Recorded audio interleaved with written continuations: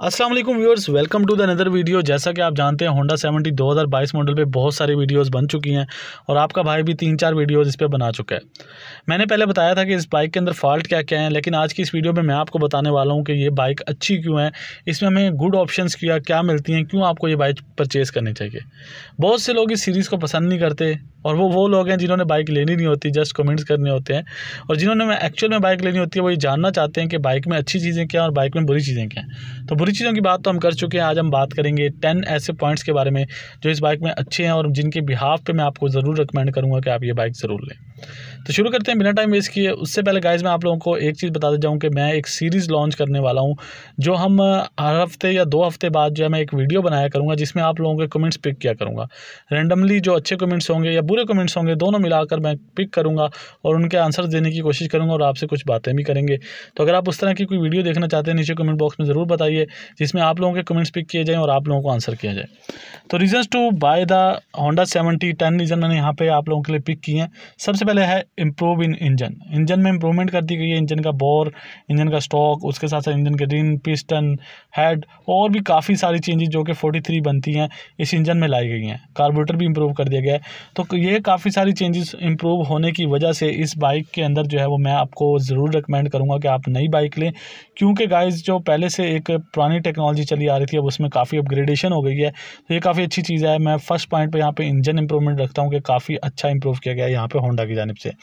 Second number पे चीज़ है हाँ एक चीज़ है, मैंने लास्ट टाइम बग्स की बात की थी तो भाई नया इंजन है, नई चीज़ें डाली हैं तो बग्स थोड़े बहुत आएँगे, लेकिन इतने बड़े बग्स नहीं होंगे कि बाइक बिल्कुल ही वर्क ना करे। छोटे मोटे बग्स आएँगे जिनको आप आफ्टर सेल मार्केट से भी या फिर होंडा के अपने शोरूम से रिपेयर करवा सकेंगे तो बग्स तो ज़ाहरी बात है, नई चीज़ में आते ही हैं, और उसको जो सेटल डाउन है, उसको होने में थोड़ा सा टाइम लग जाता है। सेकंड बात करेंगे परफॉर्मेंस की, जब इंजन बेहतर हुआ है तो इसकी परफॉर्मेंस काफ़ी अच्छी हो गई है। आपको यहाँ पर पहले से काफ़ी ज़्यादा इंप्रूव परफॉर्मेंस देखने को मिलेगी। मैं ये कहूँगा, अगर बीस परसेंट पहले से इंप्रूव परफॉर्मेंस मिलेगी तो ये कहना गलत ना होगा। थर्ड नंबर पे क्वालिटी यहाँ पे होंडा ने कोशिश की अपनी क्वालिटी को बेहतर बनाने की, मैंने फिनिशिंग देखी है क्वालिटी देखी है। मुझे तो पहले से बेटर बेटर लगी है, काफ़ी लोग यहाँ पर क्रिटिसाइज़ कर रहे हैं भाई क्वालिटी डिक्रीज़ कर दी है, लेकिन किस भी यहाँ पे वो ये कमेंट्स दे रहे हैं, ये तो वही जानते हैं, लेकिन मेरी ओपिनियन यही है कि क्वालिटी को पहले से मज़बूत करने की कोशिश की गई है, यहाँ पर अच्छा वर्क किया गया होंडा की जानब से। नेक्स्ट नंबर पे चीज़ आती है एवरेज इसके कार्बोरेटर में इंप्रूव किया गया तो जिसकी वजह से इसकी एवरेज भी इंक्रीज़ हो जाएगी। तो आपको पहले से थोड़ी बेहतर एवरेज देखने को मिलेगी। मैंने कोशिश कर रहा हूँ कि यार आप लोगों के लिए ना एक वीडियो लेकर आऊँ, जिसमें मैं इसका एवरेज टेस्ट आप लोगों को दिखाऊँगा कितनी एक लीटर में एवरेज दे रही है। वो अब कोशिश कर रहा हूँ, इंशाल्लाह जैसे पॉसिबल होगा तो वो ज़रूर वीडियो लॉन्च करूँगा। नेक्स्ट चीज़ है टॉप स्पीड जारी बात है, इसके टॉक में भी इम्प्रूव किया गया है, जिससे इसकी पिकअप भी बेटर हुई है, एक पिकअप और दूसरी इसकी टॉप स्पीड भी बेटर देखने को मिलेगी। तो ये दो चीज़ें काफ़ी ज़्यादा इंप्रूव हो गई हैं, क्योंकि इसके टॉक में इम्प्रूव आया है। आपको पिकअप भी जो है स्टार्टअप अच्छा मिलेगा बाइक का और टॉप स्पीड भी आपको अच्छी मिलेगी। एक चीज़ और जो इसमें मेजर मुझे चेंज नज़र आया, वो इसके साउंड में नज़र आया। इसका साउंड जो है वो थोड़ा थोड़ा सा क्लिक करता है Honda C G one two five को। इस हवाले से अगर आप लोगों ने डिफरेंट साउंड सुने होंगे डिफरेंट वीडियोज़ में जाकर आप लोगों ने देखे होंगे साउंड तो आप मुझे नीचे कमेंट बॉक्स में बता सकते हैं कि आपको ये फील हुआ या नहीं। मुझे फील हुआ है कि थोड़ी सी जो है ना, यहाँ पे Honda C G one two five वाली उसने जो है ना झलक दिखाई है साउंड के अंदर।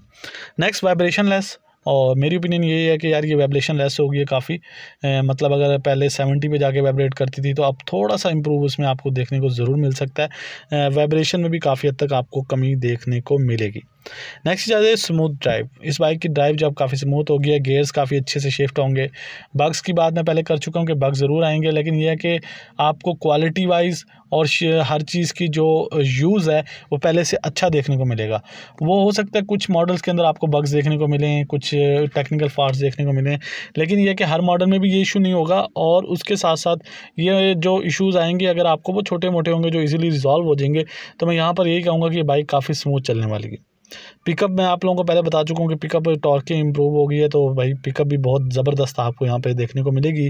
प्राइस वाइज बात करें हाँ प्राइस वाइज प्राइस मैंने यहाँ पे पॉइंट इसलिए रखा है कि अगर आप पुराना सी सॉरी सी जी सेवेंटी लेते हैं, वो भी इसी प्राइस में आ रहा है। यानी कि eighty six thousand nine hundred में पुराना भी आ रहा है तो नया भी आ रहा है तो मैं आपको ज़रूर रिकमेंड करूँगा कि आप नया लें। और लास्ट चीज़ यहाँ पर मैंने लिखी है ग्राफिक्स तो भाई एक नए ग्राफिक्स आ गए हैं, उसका अपना ही चस्का होता है, अपना ही जो है ना टशन होता है। तो नए ग्राफिक्स नए होते हैं और पुराने पुराने होते हैं। ओल्ड इज़ गोल्ड तो है, लेकिन ओल्ड इज़ ओल्ड भी होता है। तो ये है कि आजकल तो ओल्ड इज़ ओल्ड ही चलता है। तो मेरे ख्याल में ग्राफिक्स नए हैं तो वो आपके लिए ज़्यादा बेटर हो सकते हैं as compare to old graphics अभी आपकी पर्सनल ओपिनियन पर डिपेंड करता है, लेकिन मैं कहूँगा कि इस प्राइस के अंदर, क्योंकि सेम प्राइस प्राइस में आपको दोनों मॉडल मिल जाते हैं। तो आप नए ग्राफिक्स ही रिकमेंड करें।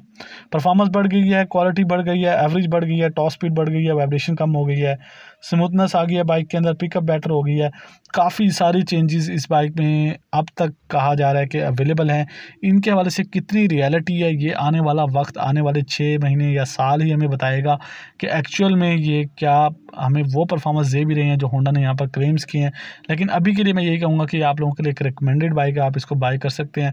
आपको एक अच्छा और नया एक्सपीरियंस मिलने वाला है। टेक केयर ऑफ़ यू अपना बहुत बहुत ख्याल रखिएगा। मुझे दो में याद रखिए। चैनल को सब्सक्राइब कीजिए। अल्लाह हाफिज़।